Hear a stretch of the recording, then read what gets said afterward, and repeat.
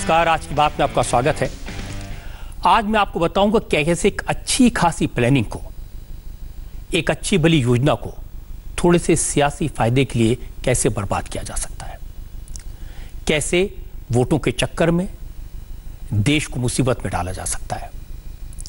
सरकार को कोसने की कोशिश में कैसे भोले वाले मजदूरों को गुमराह किया जा सकता है। आज देश के कई हिस्सों से डराने वाली तस्वीरें आई। रेलवे स्टेशन पर, स्टेशन के बाहर सड़कों पर हज़ारों मजदूर जमा हो गए। एक दो शहरों से नहीं, कई शहरों से तरह की तस्वीर आई। ऐसा लगा कि लॉकडाउन में फंसे मजदूरों को वापस घर पहुँचाने का फैसला करके एक मुसीबत मोल ले ली गई। क्या मधुमक्खी के छत्ते में हाथ तो नहीं डाल दिया?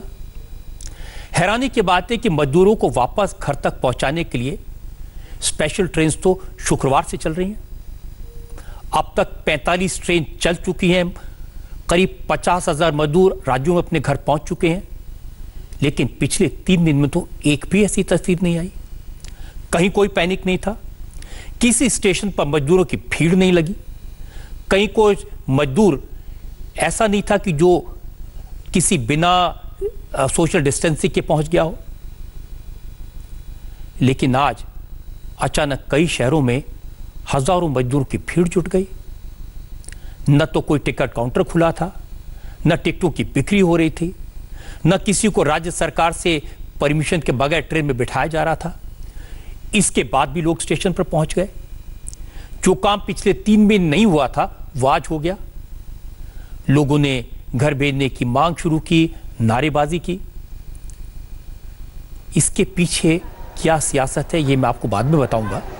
पहले आपको तस्वीरें दिखाता हूँ। ये तस्वीरें सूरत की हैं। सूरत में यूपी, बिहार उड़ीसा के हज़ारों मजदूर आज अपना बोरिया बिस्तर बांधकर घर जाने की जिद पर उतर आए। इन लोगों को जैसे ही पता चला कि मजदूरों को घर से ले जाने के लिए ट्रेन चलनी शुरू हो गई है तो सारा सामान लेकर सूरत में स्टेशन के पास वडोदरा इलाके में जमा हो गया। हंगामा शुरू हो गया।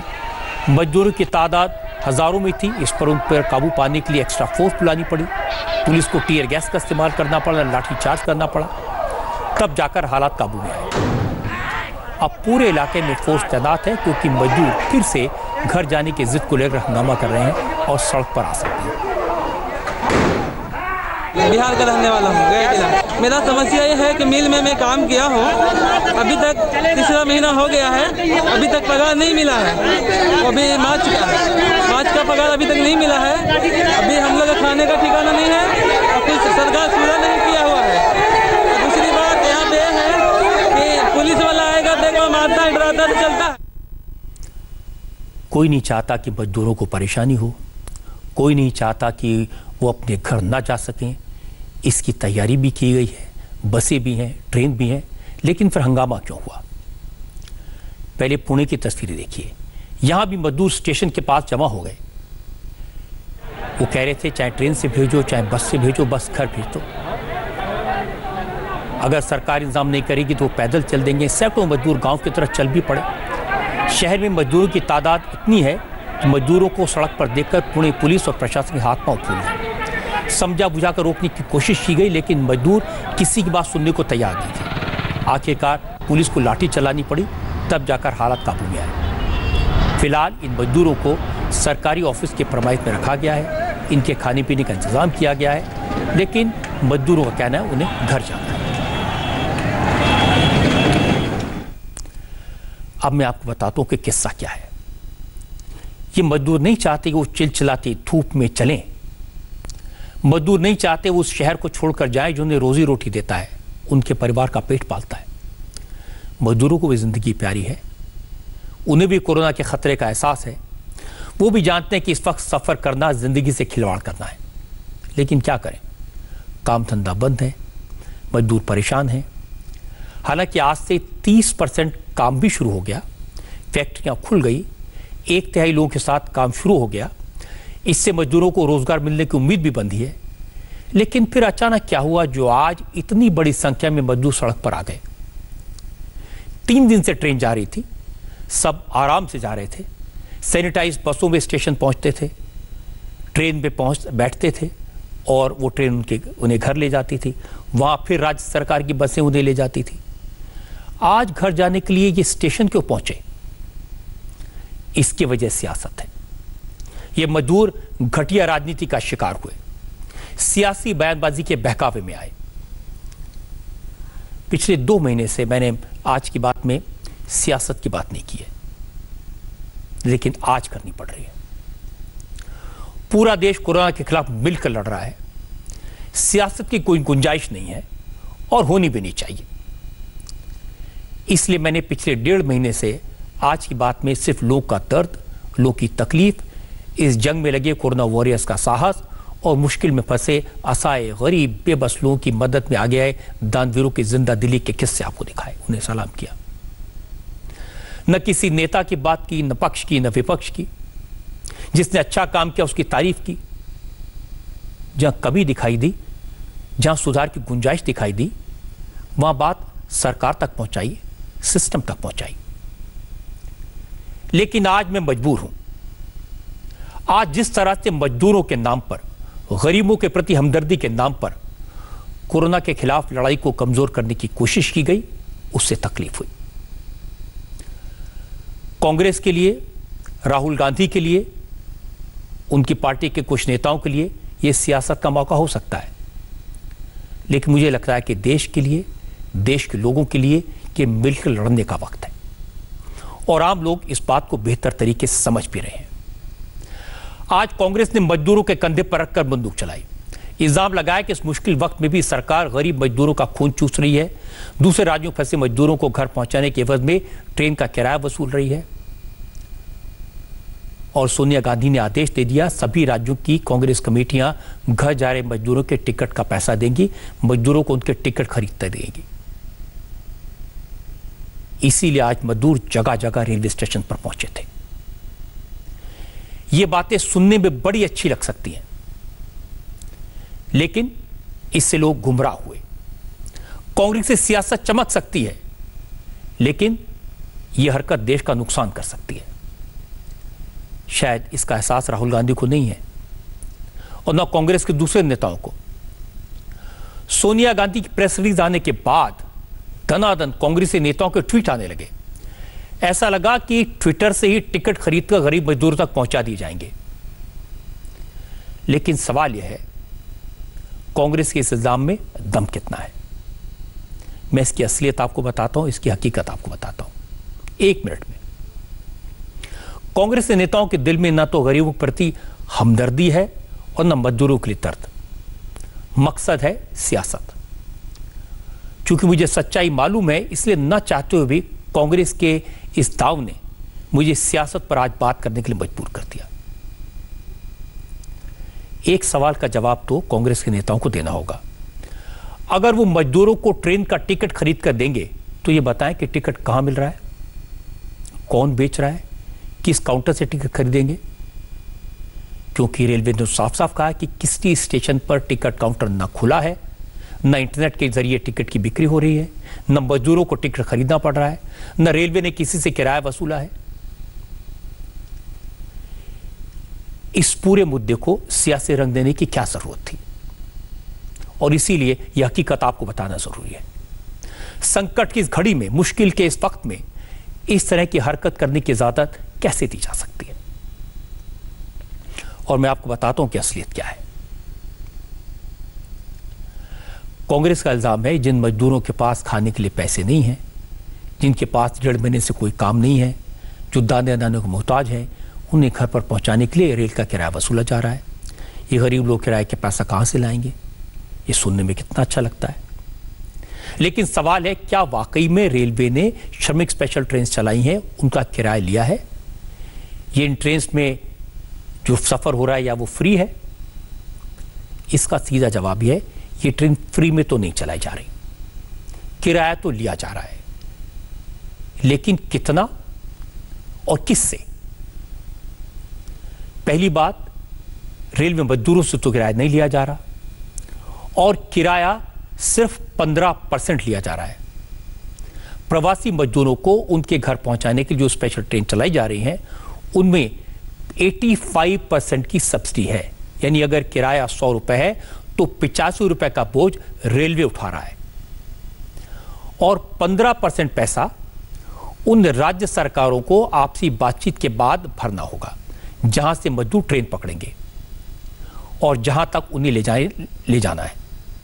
यानी अगर कोई ट्रेन मजदूरों को लेकर मुंबई से लखनऊ तक जा रही है तो फिर महाराष्ट्र सरकार और उत्तर प्रदेश सरकार को मिलकर ट्रेन का 15 परसेंट किराया भरना होगा।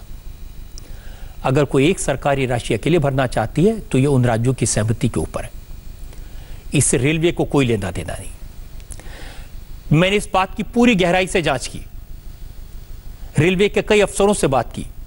उन्होंने बताया कि रेलवे टिकट का 85 परसेंट, पिचासी परसेंट हिस्सा रेलवे भरेगा और चूँकि कोरोना का संकट है, सोशल डिस्टेंसिंग को ध्यान में रखना है, मजदूरों को जो ट्रेन चल रही हैं उनमें क्षमता से सिर्फ़ 60 परसेंट यात्रियों को ले जाया जा रहा है।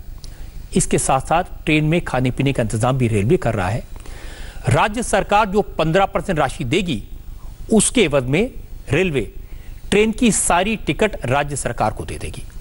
यानी अगर मुंबई से ट्रेन चल रही है तो ट्रेन की सारी टिकटें महाराष्ट्र सरकार को दी जाएँगी।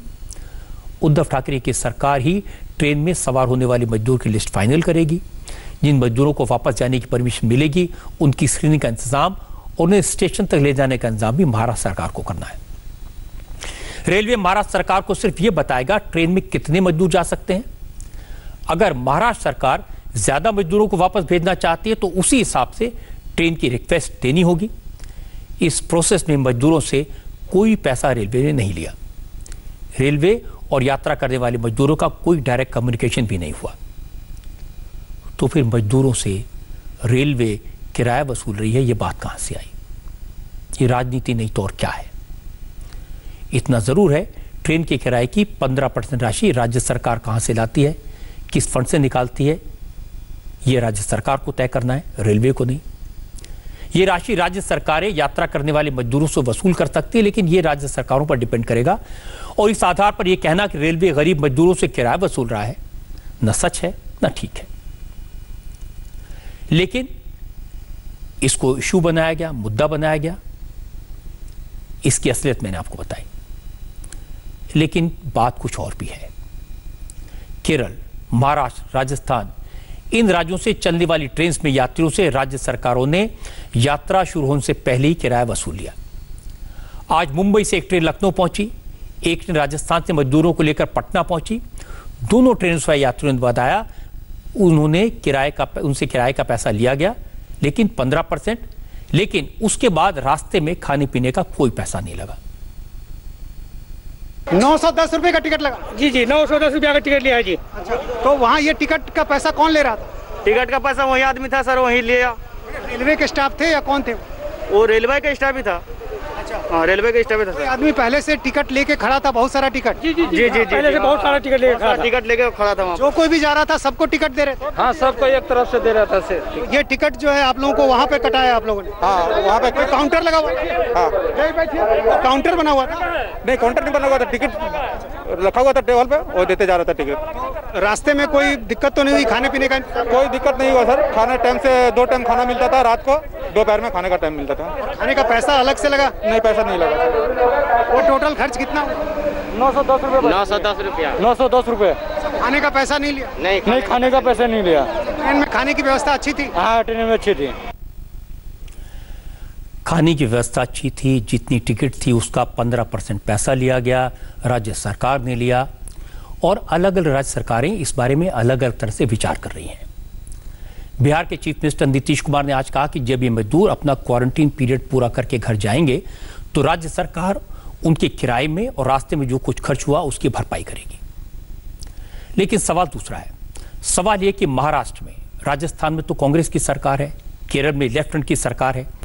अगर कांग्रेस को मजदूरों की वाकई में इतनी चिंता थी, मदद करनी थी तो कांग्रेस के कार्यकर्ताओं से मजदूरों के टिकट देने के बजाय, उनसे अपील करने के बजाय, अपनी पार्टी के मुख्यमंत्रियों से कहा जा सकता था। और उनसे कहा जा सकता था कि वो ट्रेन में जाने वाले मजदूरों से किराया न लें। इसीलिए मैं कह रहा हूँ, इसमें राजनीति ज़्यादा है कंथन कम है, जो आज के हालात में देश के लिए ठीक नहीं है, नॉर्मल जब हालात हों तो जितनी मर्ज़ी सियासत करें, जितनी मर्ज़ी आलोचना करें, जितनी मर्ज़ी आरोप लगाएँ, कोई बात नहीं। और अब सवाल यह कि रेलवे ने जब गरीब मजदूरों की ट्रेन चलाने की मंजूरी दे दी थी तो फिर पंद्रह परसेंट किराया भी क्यों वसूला? भले राज्य सरकारों की मार्फत लिया हो। फ्री में चला देते, कोई सवाल नहीं उठाता। सवाल तो बनता है कि रेलवे जब 85 परसेंट किराया उठा सकता है तो 15 परसेंट भी दे सकते थे। मजदूरों से ये 15 परसेंट किराया लेने की क्या ज़रूरत थी? सवाल वाजिब है और यह सवाल सरकार से पूछा जाना चाहिए। मैंने रेलवे मंत्रालय के बड़े अफसरों से पूछा, रेलवे बोर्ड के अफसरों से पूछा और इस मसले को समझने की कोशिश की। रेलवे मंत्रालय ने काफ़ी सोच विचार का फैसला किया। जिस तरह से दूसरे राज्यों में फंसे लाखों मजदूर बार बार सड़क पर आ रहे थे, जिस तरह से लोग पैदल सड़कों पर निकल पड़े थे आपको याद होगा आनंद विहार से यूपी और बिहार के लिए बसें चलने की अफवाह के बाद क्या हालत हुई थी? ये पूरे देश ने देखा था। अब दोबारा इस तरह की हालत तो पैदा नहीं होने देनी चाहिए। और कोरोना के खिलाफ जंग में सबसे बड़ा हथियार सोशल डिस्टेंसिंग है, जो जहाँ वहीं रहे। इसलिए इस वक्त यात्रा तो वैसे ही खतरनाक थी। और सरकार नहीं चाहती थी इसे बढ़ावा दिया जाए। लेकिन जिस तरह से राज्य सरकारों ने बार बार ट्रेन की मांग शुरू की सबसे पहले प्रवासी मजदूरों के लिए ट्रेन की मांग महाराष्ट्र सरकार की तरफ़ से उठाई गई। और आपको याद है कि ट्रेन चलने की अफवाह के बाद बांद्रा स्टेशन पर कैसे हज़ारों लोग इकट्ठा हो गए थे। उद्धव ठाकरे ने उसी दिन से केंद्र सरकार से ट्रेन चलाने की मांग की और मांग वाजिब भी है। इसके बाद झारखंड के मुख्यमंत्री हेमंत सोरेन ने कहा कि इतने सारे मजदूरों को बसों से नहीं भेजा जा सकता, ट्रेन चलाने की ज़रूरत है। राजस्थान के मुख्यमंत्री ने भी ट्रेन चलाने को सुझाव दिया। फिर यह तय हुआ कि ट्रेन चलाई जाएगी, लेकिन यह तय कर लिया कि ट्रेन में सिर्फ़ मजदूर और दूसरे राज्यों फंसे श्रद्धालु ही जा सकते हैं। ट्रेन के न तो टिकट मिलेंगे, न रास्ते में ट्रेन रुकेगी, ये नॉन स्टॉप होगी। कौन कौन ट्रेन में सवार होगा, इसका फैसला राज्य सरकार करेगी। पंद्रह परसेंट किराया राज्यों से वसूलने का फैसला इसलिए हुआ क्योंकि अगर ये लोगों को पता चल जाता कि ट्रेन मुफ़्त में चलेगी तो राज्य सरकारों की मांग बढ़ती और बड़ी संख्या में मजदूर ट्रेन से जाने के लिए स्टेशन पर आ जाते और कोरोना के खिलाफ लड़ाई कमज़ोर हो जाती। इसी अभी तक जो 45 ट्रेनें अलग अलग राज्यों की मांग पर चली हैं, उनमें करीब पचास हज़ार मजदूर आराम से अपने होम स्टेट में पहुँच गए। आज रात तेरह ट्रेन और चलेंगी। इस मिशन को सीक्रेट रखा गया। इसी का नतीजा था कि कल तक कहीं कोई भगदड़ नहीं मची थी। कहीं से किसी तरह की गड़बड़ी की खबर नहीं मिली थी, लेकिन आज सारा हंगामा शुरू हुआ। मैंने शुरू में आपको तस्वीरें दिखाई थी, शहरों का हाल दिखाया था, उसे देखकर आपको अंदाज़ा हुआ होगा कि खतरा कितना बड़ा है, रिस्क कितना ज़्यादा है। इस तरह के मामलों में हल्की राजनीति कितनी भारी पड़ सकती है? घर जाने के चक्कर में सड़कों पर निकले, स्टेशन पर जमा हुए इन लोगों में से न जाने कितने कोरोना का वायरस अपने साथ ले गए होंगे और न जाने कितने लोग कोरोना का वायरस दूसरों को दे गए होंगे। और इनमें से जो पॉजिटिव निकलेंगे, उनकी कॉन्टैक्ट ट्रेसिंग होना भी नामुमकिन होगा। मुझे लगता है ये तस्वीरें ये बताने के लिए काफ़ी होंगी कि रेलवे ने इस मिशन को सीक्रेट क्यों रखा। राज्य सरकारों से 15 परसेंट किराया लेने का फैसला क्यों किया? सोचिए अगर सीधे सीधे ऐलान कर दिया जाए कि घरों से दूर फंसे लोगों को ले जाने के लिए ट्रेन चलेगी, मुफ़्त में चलेगी तो हर स्टेशन का क्या हाल होगा? लाखों लोग स्टेशन पर जमा हो जाएँगे। फिर सोशल डिस्टेंसिंग, कोरोना के खिलाफ जंग का क्या मतलब रह जाएगा? 40 दिन से पूरा देश मिलकर जो लड़ाई लड़ रहा है करोड़ों लोगों ने घर में रहकर जो कोशिश की है, वो एक पल में बर्बाद हो सकती है। दूसरी बात, सोनिया गांधी जो बयान जारी किया, उसमें कहा कि जब रेलवे कोरोना के खिलाफ जंग के लिए पीएम केयर फंड में एक करोड़ दे सकता है, जब रेलवे के पास इतना पैसा है तो मजदूरों से किराया वसूलने की क्या ज़रूरत थी? अब ये सवाल है तो उसका जवाब भी दिया जाना चाहिए। क्या यह बताने की ज़रूरत है कि पीएम केयर फंड में दिया गया पैसा कोरोना के खिलाफ लड़ाई में खर्च होगा। इस पैसे से गरीबों की, मजदूरों की, जरूरतमंदों की मदद होगी। लेकिन मैं आपको बता दूँ कि कोरोना के खिलाफ जिस तरह की जंग चल रही है, जिस लेवल केंद्र सरकार, राज्य सरकारें काम कर रही हैं, उसके सामने एक सौ इक्यावन करोड़ रुपए की फिगर कुछ खास नहीं है। अगर मैं आपको आंकड़े बताऊँगा तो आप सुनकर हैरान रह जाएँगे। मैंने जो रिपोर्ट्स देखी हैं, जो स्टडी किया है सरकार के तमाम मंत्रियों से बात की है। उसके आधार पर मैं कह सकता हूँ कि पिछले एक महीने के दौरान गरीबों, मजदूरों, मजलूमों की मदद में सिर्फ़ केंद्र सरकार करीब पैंतालीस हज़ार करोड़ रुपए से ज़्यादा खर्च कर चुकी है। अगर सरकार पैंतालीस हज़ार करोड़ रुपए खर्च कर चुकी है, पिछले 40 दिन में सरकार 33 करोड़ गरीबों की मदद कर चुकी है। 23 अप्रैल तक गरीबों की मदद के लिए सरकार इकतीस हज़ार दो सौ पैंतीस करोड़ रुपए खर्च कर चुकी है। तो फिर ये कहना कि रेलवे से 15 परसेंट किराया इसलिए लिया जा रहा है कि पैसा ले लिया जाए, पैसा इकट्ठा कर लिया जाए। सिर्फ़ राशन पहुंचाकर ही नहीं, गरीबों के खाते में पैसा भेजा गया। प्रधानमंत्री किसान सम्मान निधि के तहत आठ करोड़ किसानों के खाते में दो दो हज़ार रुपए ट्रांसफ़र किए गए। सिर्फ़ इसी योजना के तहत आठ करोड़ किसानों को सोलह करोड़ रुपए की मदद की गई। इसके अलावा बीस करोड़ पचास लाख महिलाओं के जनधन खाते में पाँच पाँच सौ रुपए ट्रांसफ़र किए गए। महिलाओं के खाते में दस हज़ार पच्चीस करोड़ रुपए ट्रांसफ़र किए गए। ये राशि अगले तीन महीने तक हर महीने महिलाओं के खाते में डाली जाएगी। इसके अलावा राष्ट्रीय सामाजिक सहायता कार्यक्रम के तहत दो करोड़ सत्तासी लाख लोगों के अकाउंट में एक हज़ार चार सौ पाँच करोड़ रुपए ट्रांसफ़र किए गए। और ये पैसा जिन लोगों को मिलेगा, उनमें बुज़ुर्ग भी हैं, उनमें विधवाएँ भी हैं, उनमें दिव्यांग हैं। इन लोगों के अकाउंट में भी अगले तीन महीने तक, हर महीने पाँच पाँच सौ रुपए डाले जाएँगे। लॉकडाउन का सबसे बुरा असर पड़ा। कंस्ट्रक्शन क्षेत्र में लगे दिहाड़ी मजदूरों पर। कंस्ट्रक्शन सेक्टर से जुड़े दो करोड़ सत्तर लाख मजदूरों के खाते में निर्माण श्रमिक कोष से तीन हज़ार चार सौ सत्तानवे करोड़ रुपए ट्रांसफ़र किए गए। यानी कंस्ट्रक्शन सेक्टर से जुड़े मजदूरों को करीब साढ़े तीन हज़ार करोड़ रुपए की मदद की गई। चूँकि काम धंधा बंद है, इसलिए सबसे पहले मजदूरों का बकाया चुकाया गया, जिससे गरीबों के परिवारों का भरण पोषण हो। मनरेगा के तहत सरकार ने दिहाड़ी मजदूरों की जो मजदूरी है वो बढ़ाकर दो सौ रुपए पर डे कर दी। इसके अलावा मजदूरों के बकाया सात हज़ार तीन सौ करोड़ रुपए का भुगतान भी कर दिया। सरकार ने कोरोना के खिलाफ इस जंग में हर लेवल पर एक सोची विचार की रणनीति बनाई। किसी के खाते में दो ढाई हज़ार रुपये आने से उसका मनोबल बढ़ता है, दवाई दूध का खर्चा निकलता है, लेकिन पूरे परिवार का पेट इससे नहीं भर सकता, सारे खर्चे नहीं चल सकते। और इस बात का एहसास है इसलिए ऐसा इंतज़ाम किया गया जिससे सबके घर में चूल्हा जल सके, किसी को भूखे पेट सोना न पड़ सके। जब से लॉकडाउन लगा, तब से लेकर अगले तीन महीने तक उज्ज्वला योजना के तहत तीन सिलेंडर मुफ़्त देने का फैसला हुआ। आपको जानकर हैरानी होगी, अब तक सरकार उज्ज्वला योजना के तहत दो करोड़ छियासठ लाख गैस सिलेंडर गरीबों के घरों में मुफ़्त पहुँचा चुकी है। और फ़िलहाल तीन करोड़ पाँच लाख सिलेंडर्स की बुकिंग हो चुकी है। घर में सिलेंडर होगा, चूल्हा जलेगा तो फिर राशन भी चाहिए। उसका तो इंतज़ाम किया गया है। हर गरीब व्यक्ति को सरकार की तरफ़ से तीन महीने तक, हर महीने पाँच किलो चावल या गेहूँ और एक किलो दाल मुफ़्त मिल रही है। अप्रैल में राशन दिया जा चुका है और ये पीडीएस के तहत मिलने वाले राशन से अलग है।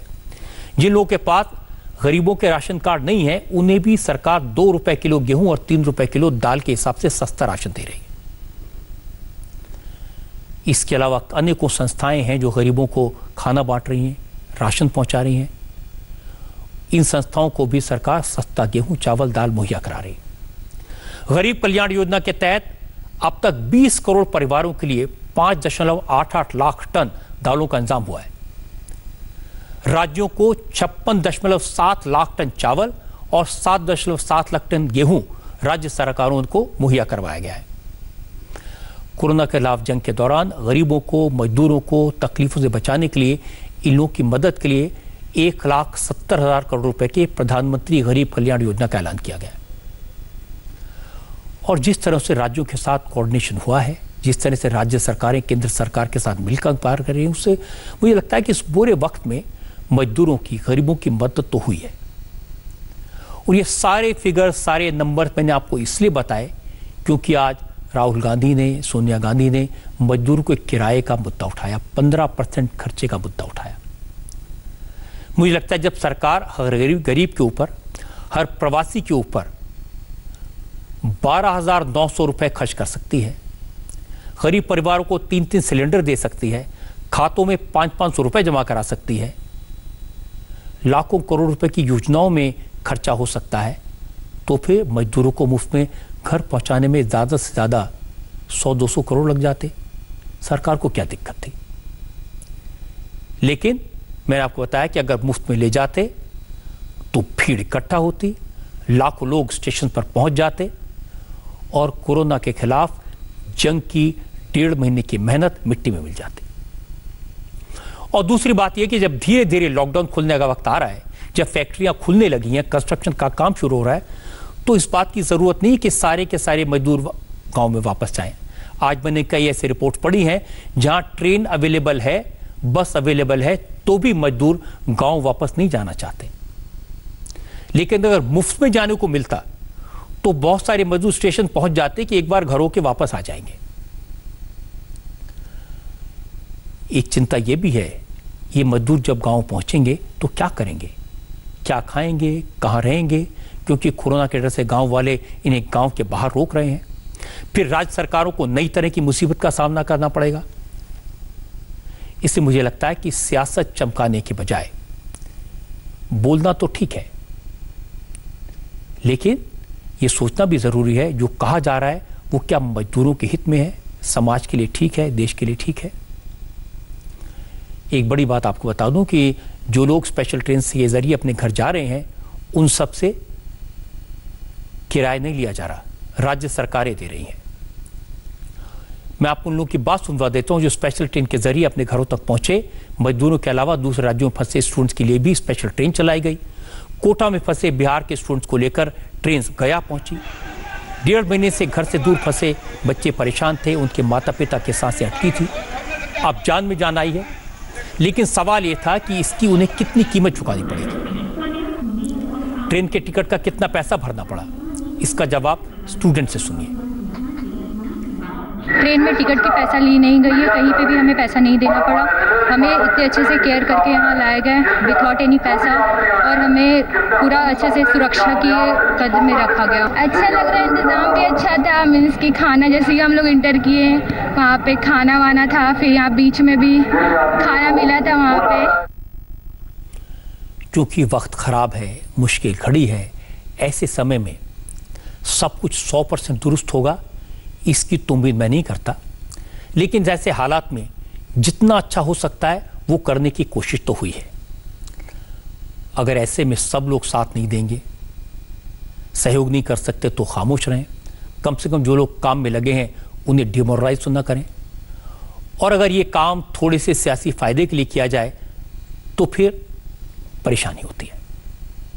एक और बात आपको बता दूँ, ऐसा नहीं है कि जो मजदूर मुसीबत में फंसे हैं, जो घर वापस जाना चाहते हैं, उन्हें कोई परेशान नहीं कर रहा। मुझे जानकारी मिली कि मुंबई में फंसे मजदूरों को लूटा गया। जो लोग ट्रेन के ज़रिए घर वापस जाना चाहते हैं, उन्हें एक एप्लीकेशन फॉर्म भरना होगा। फॉर्म तो सरकार फ्री में दे रही है, लेकिन कुछ लोग मैदान में आ गए हैं और मजदूरों से इस फॉर्म की भी कीमत वसूल कर रहे हैं। फिर मजदूर तो बिना पढ़े लिखे हैं तो फॉर्म भरवाने के नाम पर भी पैसे वसूले जा रहे हैं। अगर राजनीतिक दलों के कार्यकर्ताओं को मैदान में आना है तो इस पर ध्यान दें। कैसे मजदूरों को फिटनेस सर्टिफिकेट चाहिए, उसके लिए प्राइवेट डॉक्टर्स मजदूरों से साढ़े तीन सौ से लेकर साढ़े पाँच सौ रुपए तक वसूल कर रहे हैं। ऐसे वक्त में जब मजदूरों के पास दो महीने से काम नहीं है, खाने को पैसा नहीं है तो इस तरह का पैसा वो कहाँ से लाएँगे? आज मुंबई में हमारे संवाददाता को कुछ ऐसे मजदूर मिले जिनका दर्द आप सुनेंगे तो रो पड़ेंगे। दो महीने से बिना काम के मुंबई में फंसे घर जाना चाहते थे। ट्रेन चलने की बात सुनी तो फॉर्म भरने दौड़े। फॉर्म के पैसे भी लगे, भरवाने के पैसे के लिए डॉक्टर से फिटनेस सर्टिफिकेट बनवाने के का पैसा लगा। सारी जमा पूंजी इसमें निकल गई और इसके बाद उस फॉर्म को रिजेक्ट कर दिया गया। और ये भी सुन लीजिए कि इन मजदूरों को अमेठी जाना था। कुछ उन्नाव के थे, लेकिन इनका फॉर्म रिजेक्ट हो गया। क्योंकि एक जगह से पाँच, छह मजदूर होंगे तो परमिशन नहीं मिल सकती। इसके बाद ये मजदूर इतने परेशान हो गए, जो थोड़ा बहुत पैसा बचा था, उससे पुरानी साइकिल खरीदी और साइकिल से घर की तरफ़ निकल पड़े। कहाँ जा रहे हैं आप अभी? सर हम जा रहे हैं यूपी अमेठी जिला। फॉर्म डाले उसके बाद में थाने में जमा किया भयवाड़ा पुलिस स्टेशन में। वहाँ पे भी सर फ़ोन करके बुलाया बोला आ जाओ अपना फार्म लेके जाओ। तो हमने बोला क्या हुआ सर? तो बोले जो है आप अपना फॉर्म लेके जाओ पच्चीस लोग का ग्रुप बनाओ। तो हमने कहा सर एक ज़िले के तो हम पच्चीस लोग हैं नहीं कहाँ से हम? सात लोग हैं सात लोग तो हम जा सकते हैं पच्चीस लोग या तो दादर से बाहर जाएँ कहीं। और बाहर जा नहीं सकते हैं तो पच्चीस लोग का ग्रुप हम कहाँ से इकट्ठा कर पाएँगे? तो बोले नहीं जा सकते तो अपना फार्म लेके जाओ जैसा दिल में हो वैसा करो। अच्छा इस तरह से? पच्चीस लोग इकट्ठा होकर अपना मेडिकल करा के लाओ। और अगर फिर अगर आपके पास कोई बस वगैरह हो तो उससे जा सकते हैं हम पास बना के देंगे। मोबाइल बेच के साइकिल लिया दो साइकिल लिया था। अच्छा उसका साइकिल से जाएँगे? साइकिल लिया और क्या करें मजबूरी सर ये तो फिर खाना भी नहीं मिल रहा। जिसके यहाँ खाना खाते हैं सर खाना वाड़ी में वो भी खाना बंद कर दिया बोलता है हमको कोरोना हो जाएगा हमारे पास पड़ोस वाले खाना देना यानी कि खाना देते हैं हम गुस्साते हैं। तो इसके लिए सर दो दिन हो गए खाना भी बंद कर दिया। तो उधर से चोरी छुपे सर होटल से लेके आते थे, होटल वाले भी देना बंद कर दिया। संडे को बंद है सर संडे को हम ऐसे ही सोए, भूखे ही सर। अगर राजनीतिक दलों के कार्यकर्ता वाकई में मजदूरों की मदद करना चाहते हैं तो उन्हें ये तस्वीरें देनी चाहिए। इन मजदूरों की बात सुननी चाहिए, उनकी पीड़ा समझनी चाहिए। ये बात चीफ मिनिस्टर तक पहुंचानी चाहिए। मजदूर ना हालात से डरते हैं, ना मेहनत से। बस उन्हें भरोसा होना चाहिए कि वो अकेले नहीं है। मुझे लगता है कि राज्य सरकारों को मजदूरों की इस तरह की दिक्कतों से बचाने की कोशिश करनी चाहिए। अगर वाकई में सरकारों को इन मजदूरों की फ़िक्र है तो कम से कम मजदूरों में ये भरोसा पैदा करना चाहिए कि वो जहाँ हैं, वहाँ सुरक्षित हैं। वो भूखे नहीं मरेंगे। राज्य सरकारें उनका ख्याल रखेंगी। और जब इस तरह सड़क में तपती धूप पर चलती मजदूरों की तस्वीरें देखता हूँ तो तकलीफ़ तो होती है। कई बार मन में सवाल उठते हैं, इतनी बड़ी तादाद में मजदूर घर जाएँगे तो क्या उनके साथ कोरोना वायरस भी गाँव तक नहीं पहुंचेगा? मजदूर कोरोना के कैरियर तो नहीं बन जाएँगे।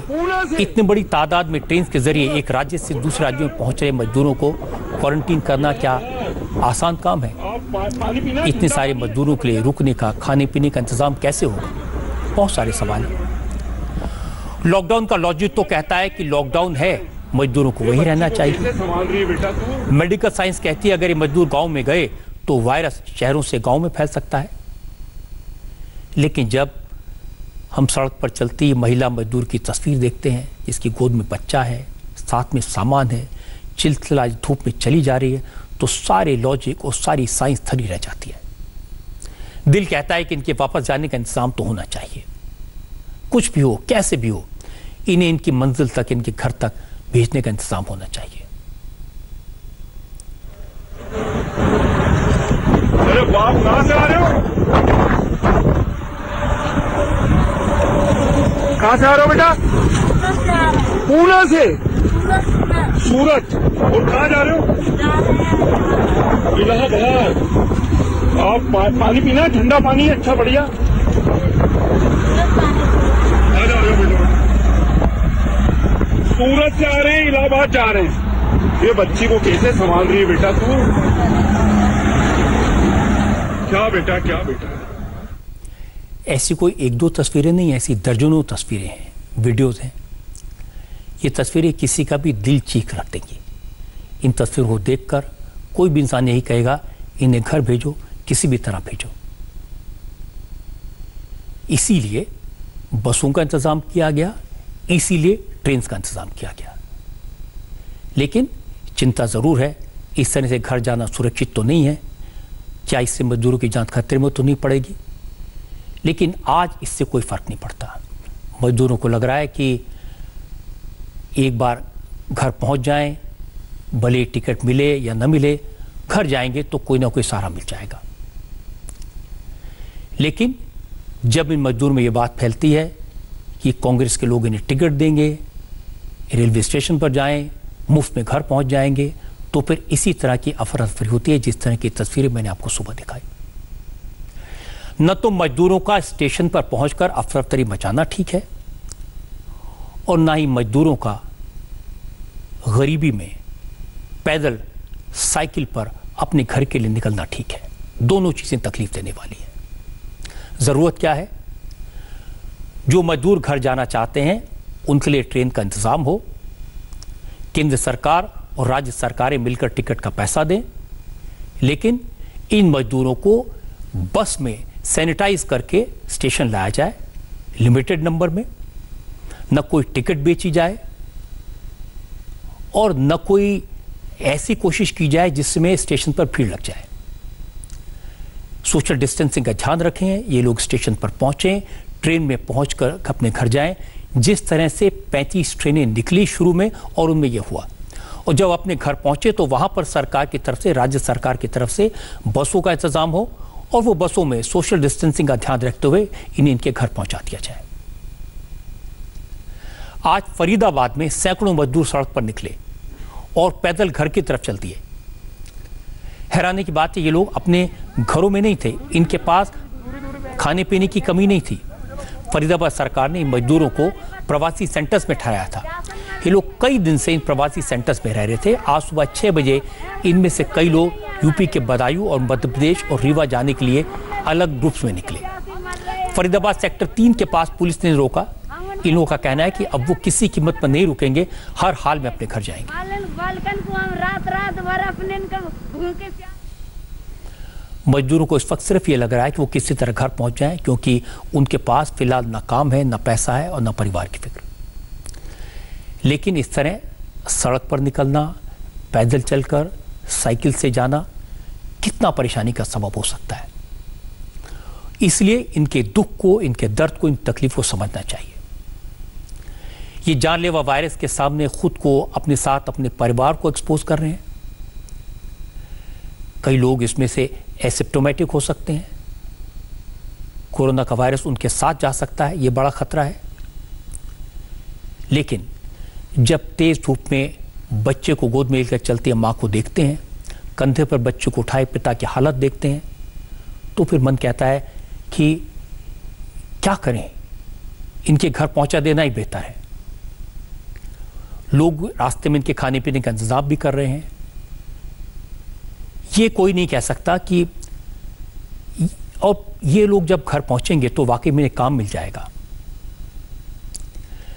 झांसी में क्या हुआ, ये किस्सा आपको बताता हूँ। झांसी में कोरोना का कोई मरीज़ नहीं था। झांसी ग्रीन जोन में था, लेकिन हाईवे के ज़रिए मजदूरों के साथ कोरोना वायरस झांसी पहुँच गया। अब झांसी में कोरोना के चौदह पेशेंट हैं।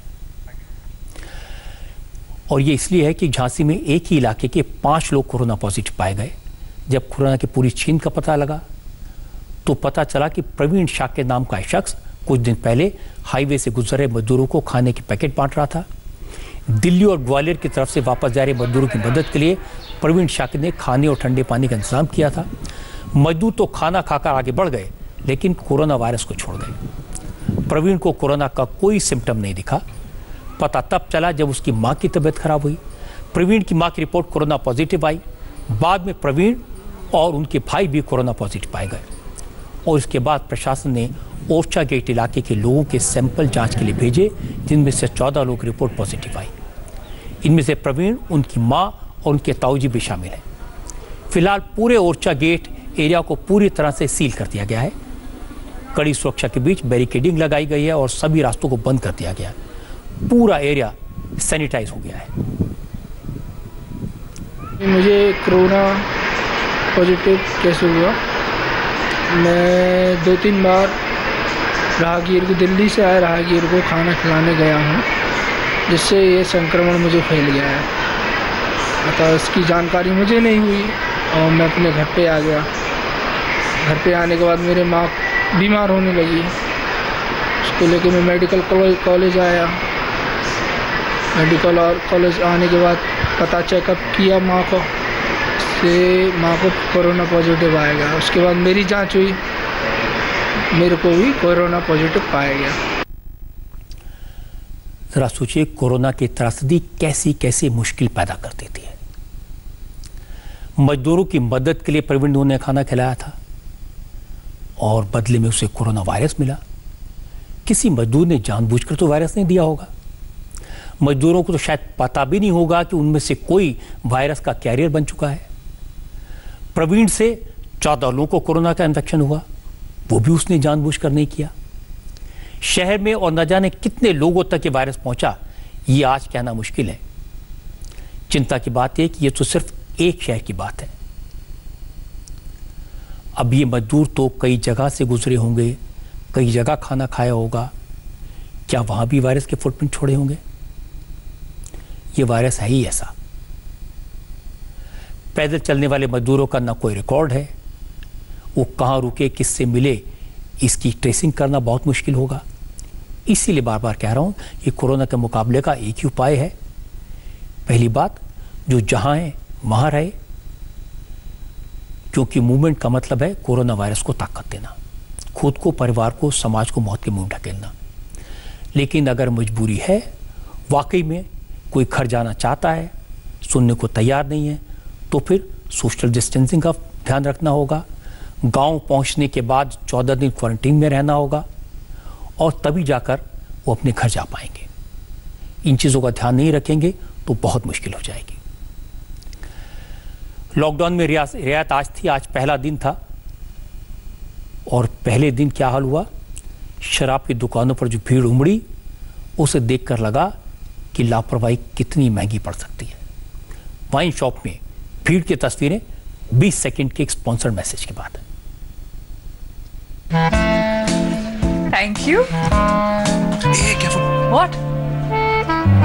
funny. I know.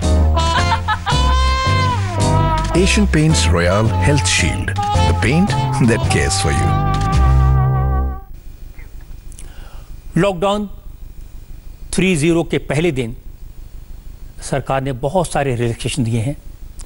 ज़रूरत भी थी इस बात की। कई दफ्तर खुले, दुकानें खुली, सड़क पर गाड़ियाँ पहले के मुकाबले ज़्यादा दिखाई दी। लेकिन एक चीज़ ने सबको परेशान कर दिया। जिस तरह से शराब की दुकानें के बाहर भीड़ लगी। असल में कई तरह की कंडीशंस के साथ शराब की दुकानों को खोलने की परमिशन दी गई थी। चूँकि लोगों को वाइन शॉप्स के खुलने की खबर पहले से थी इसलिए सुबह सुबह शराब की दुकानों के सामने लंबी लंबी लाइनें लग गई। जब तक भीड़ कम थी, तब तक तो सोशल डिस्टेंसिंग का पालन भी हुआ, डिसिप्लिन भी बरकरार रहा, लेकिन जैसे जैसे भीड़ बढ़ती गई, लाइन लंबी हो गई, लोगों का सब्र जवाब देने लगा। दिल्ली में कई जगह कई कई किलोमीटर लंबी लाइन लगी। कई इलाकों से इस तरह की तस्वीरें आई। कई जगह शराब खरीदने वालों की भीड़ इतनी ज़्यादा हो गई कि उन्हें संभालना मुश्किल हो गया। शराब खरीदने आए लोगों ने हंगामा भी किया। कई जगह पुलिस को लाठीचार्ज करना पड़ा और कई जगह शराब की दुकानों को आज बंद करना पड़ा। शराब के शौकीन लोगों के चक्कर में कोरोना का खतरा और बढ़ गया। आपको देश भर से शराब की दुकानों के बाहर से आई हैरान करने वाली तस्वीरें दिखाऊँगा और लोग की बातें भी सुनवाऊँगा। लेकिन पहले हमारी संवाददाता ज्योति मिश्रा की एक रिपोर्ट दिखाता हूँ जो काफ़ी चिंता बढ़ाने वाली है। दरअसल, ज्योति मिश्रा ने दिल्ली के श्रीनिवासपुरी इलाके में शराब की दुकान के बाहर आरोग्य सेतु ऐप के ज़रिए कोरोना के खतरे को चेक किया। आरोग्य सेतु की रिपोर्ट चौंकाने वाली थी, लेकिन लोगों को इसकी कोई फ़िक्र नहीं थी। ज्योति मिश्रा की ग्राउंड रिपोर्ट आप देखिए। मेरे पास, मेरा जो फ़ोन मौजूद है, इसमें मैं बोलूँगी कैमरा पर्सन को दिखाने के लिए कि आप देखिए, यहाँ पर जो आज हज़ारों लोग हैं, वो किस कदर अपनी जान को रिस्क में डाले हुए हैं। आरोग्य सेतु ऐप मेरे पास मौजूद है। और आरोग्य सेतु ऐप में आप देखिए कि जो एक किलोमीटर का दायरा इसमें दिखा रहा है कि लगभग 16 यूज़र्स जो हैं, जिन्होंने अपने आप का इसमें स्व परीक्षण किया, वो अस्वस्थ पाए गए हैं। ये सिर्फ़ मेरे एक किलोमीटर के दायरे का, के अंदर का असेसमेंट है। और अगर मैं दो किलोमीटर के अंदर के एरिया की बात करूँ तो यहाँ पर लगभग पैंसठ हज़ार से ज़्यादा लोगों का असेसमेंट हुआ जिसमें आपको बता दें कि बयासी यूज़र्स जो हैं वो सेल्फ असेस्ड एज अनवेल पाए गए और nine users diagnosed covid 19 positive यानी मेरे दो किलोमीटर की प्रॉक्सिमिटी में नौ कोरोना के पॉजिटिव पेशेंट हैं। एक किलोमीटर के दायरे में 18 अस्वस्थ लोग हैं और 500 मीटर के दायरे में आठ अस्वस्थ लोग हैं। लेकिन इस तमाम खतरे को न भापते हुए ये जो लोग हैं वो देश की दशा के लिए नहीं परेशान हैं, वो शराब के नशे के लिए परेशान हैं और इसीलिए सोशल डिस्टेंसिंग का बिल्कुल भी पालन नहीं किया जा रहा है। पुलिस की जो पेट्रोलिंग वैन है, एक तरफ़ वो लगातार अनाउंसमेंट कर रही है कि बीमारी बहुत खतरनाक है। पाँच फीट की, पाँच कदम की दूरी बनाए रखें, लेकिन पाँच कदम तो छोड़िए, लोग एक दूसरे से एकदम सटकर यहाँ पर खड़े हुए हैं। और खुद आपने आरोग्य सेतु ऐप में देखा कि हम जिस रेंज में हैं, इसके नियर प्रॉक्सिमिटी में 500 मीटर से लेकर दो किलोमीटर के दायरे में नौ कोरोना के पॉजिटिव पेशेंट्स हैं। ऐसे में अब इन सभी लोगों ने निर्देशों का पालन नहीं किया है। दिल्ली के कई और इलाकों में पुलिस के आदेश के बाद ठेकों को बंद कर दिया गया, लेकिन श्रीनिवासपुरी इलाके में आने वाले इस ठेके को अभी बंद नहीं किया गया है और इसीलिए जो भीड़ है, वो वापस घर जाने का नाम नहीं ले रही है। हैरानी की बात है कि सोशल डिस्टेंसिंग की धज्जियाँ उड़ाते हुए शराब के लिए लाइन में ले कुछ लोगों के पास आरोग्य सेतु ऐप था इन्हें पता था इलाके के आसपास कोरोना के सस्पेक्ट केसेस हैं। इसके बावजूद तलब ऐसी थी कि कोरोना के खतरे को नजरअंदाज कर दिया लाइन में लगे रहे। आप में से कितने के पास आरोग्य सेतु ऐप है? मेरे पास। आपने उसमें देखा है कि कितने लोग बीमार हैं आपके आसपास? सेवेंटी फाइव परसेंट फिर भी आप आ रहे हैं? हाँ जी हम आपको डर नहीं लग रहा है? क्यों? वैसे हम कुछ करते ही नहीं हम अपने सेफ्टी कर रहे हैं अपने साथ में। मैं अपने घर रह रहे हैं अपने आराम से रह रहे हैं। यह सेफ्टी है। हाँ जी मैं अभी आया ना आज निकले घर से बाहर। मैम ये पहन लिया लो अभी पहना है। ग्लव्स कहाँ है? ग्लव्स मैम नहीं लिए। सोशल डिस्टेंसिंग कितनी कही हुई मैम कहाँ है किसकी डिस्टेंस मैम कोई नहीं लग रहा है डिस्टेंस हम कैसे लग जाएँगे आप बताइए। तो जो पुलिस की गाड़ी है वो अनाउंसमेंट कर रही है पाँच फीट की दूरी। ये कितनी फीट है? अभी भी चेक करिए आप। आगे से लेके यहाँ तक चेक करिए कहाँ पे डिस्टेंस है। कि कुएँ में कूदेंगे तो आप भी कूदेंगे मैम तो भी मैम होते है हम ढाई घंटे खड़े हैं यहाँ पे हम। ये सेम हाँ जी हम। ये फैसला सही है सरकार का? बेकार है। पर खोला क्यों फिर आप? ये तो बेकार है खोलना नहीं चाहिए था खोलना ही चाहिए ना। खोलना नहीं चाहिए था। अगर खोला है या तो फिर एक साथ आता हम अगर फैसला गलत है मगर सरकार ने क्यों खोला? खोला तो सारे दिल्ली के अंदर सारे ठेके खुलने चाहिए थे। आरोग्य सेतु ऐप आप लोगों ने डाउनलोड किया है या सुना है इसके बारे में? नहीं मैडम टीवी पे देखा था। आरोग्य सेतु में दिखा रहे हैं कि हमारे एक दो किलोमीटर के अंदर कोरोना के नौ पॉजिटिव लोग हैं बयासी लोग अस्वस्थ हैं। आप लोगों को फ़िक्र नहीं है इस बात की? मैडम डर तो लगता ही है। फिर भी क्या करें? मजबूरी है आदत है थोड़ा सा। मतलब आप यहाँ पर कितने देर तक खड़े रहेंगे लाइन में? मैडम अभी अगर देख लो नंबर आने वाला ही है मगर देखते हैं आधा घंटा एक रहे मैडम इतनी भीड़ हो रही है कोई बीच में घुस रहे फिर आ रहे लोगों ने 40 दिन बड़े धैर्य के साथ लॉकडाउन का पालन किया घरों में रहे लेकिन शराब के लिए जुनून ऐसा है कि नॉर्थ इंडिया से लेकर साउथ इंडिया तक सारे के सारे अनुशासन तो तोड़ दिया। दिल्ली की तस्वीरें आपने देखी हैं। साउथ इंडिया का हाल आपको दिखाता हूँ। ये तस्वीरें आंध्र प्रदेश के कृष्णा ज़िले की तस्वीरें हैं। शराब खरीदने के लिए यहाँ लोगों की एक किलोमीटर तक लंबी लाइन लग गई। दुकान के बाहर पुलिस वाले मौजूद थे लेकिन भीड़ के सामने मजबूर दिखे। तलब ऐसी कि लोग एक दूसरे से सड़कर खड़े थे। सबको शराब की बोतल खरीदने की फ़िक्र थी। कोरोना की चिंता किसी के पास नहीं थी। ये बात सही है कि इस समय सारे रिसोर्सेज कोरोना के खिलाफ जंग में लगे हैं। राज्य सरकारों को पैसे की ज़रूरत है और शराब की बिक्री रेवेन्यू का एक बड़ा ज़रिया है। इसलिए राज्य सरकारें मांग करती रही थी कि केंद्र सरकार वाइन शॉप खोलने की इजाज़त दे। केंद्र सरकार काफ़ी रिलेक्टेंट थी, लेकिन राज्यों ने जब प्रेशर बनाया तो कई पाबंदियों के साथ वाइन शॉप को खोलने की इजाज़त दे दी गई। इसमें कोई ज़्यादा बुराई भी मुझे नहीं लगती। अगर लोग सोशल डिस्टेंसिंग का पालन करते रहते, हंगामा न करें, भीड़ ना लगाएँ तो वाइन शॉप्स खोलने में कोई बुराई नहीं है। आफ्टरऑल राज्य सरकारों को रेवेन्यू तो चाहिए। लेकिन आज जिस तरह की हालत देखी, जिस तरह की तस्वीरें देखी, जिस तरह से लोगों ने सारे नियम कायदे ताक पर रख दिए, उसके बाद वाइन शॉप्स को बंद करना एक रास्ता दिखता है। क्योंकि वाइन के चक्कर में राज्यों के रेवेन्यू के चक्कर में कई लोगों की ज़िंदगी दांव पर तो नहीं लग जाएगी। कोरोना के खिलाफ लड़ाई कमज़ोर तो नहीं हो जाएगी। और ये मैं ऐसा इसलिए कह रहा हूँ कि एक आदमी गलती भी सैकड़ों लोगों को कोरोना दे सकती है। अहमदाबाद से आज जो खबर आई, वो परेशान करने वाली है। यहाँ कोरोना के पॉजिटिव मरीजों की संख्या चार हज़ार के पास पहुँच गई है। अब तक तो यहाँ कोरोना का इन्फेक्शन सेंट्रल और साउथ जोन तक सीमित था। लेकिन अब बाहर से भी कोरोना के नए केसेस आए शुरू हो गए हैं, जो ज़्यादा चिंता की बात है। आज अहमदाबाद के एक सुपरमार्केट के कर्मचारियों में कोरोना पाए जाने के बाद पूरे इलाके में हड़कम मच गया। अहमदाबाद के सिंधु भवन रोड पर बजरंग सुपरमार्केट के पाँच कर्मचारी कोरोना वायरस से इन्फेक्टेड पाए गए। पूरे कॉम्प्लेक्स को क्वारंटीन जोन में बदल दिया गया। ये शहर का बड़ा डिपार्टमेंटल स्टोर है और पिछले कुछ दिनों में हज़ारों लोग यहाँ से अपने घर का राशन ले जा चुके हैं। अब प्रशासन ने यहाँ से सामान खरीदने वाले एक एक व्यक्ति को ढूंढना शुरू कर दिया है। उनको ट्रेस किया जा रहा है। अहमदाबाद के एक और इलाके में, साबरमती इलाका जिसे कहते हैं, एक फल बेचने वाले में कोरोना का इन्फेक्शन मिला। इस इलाके के 200 लोगों को क्वारंटीन करना पड़ा।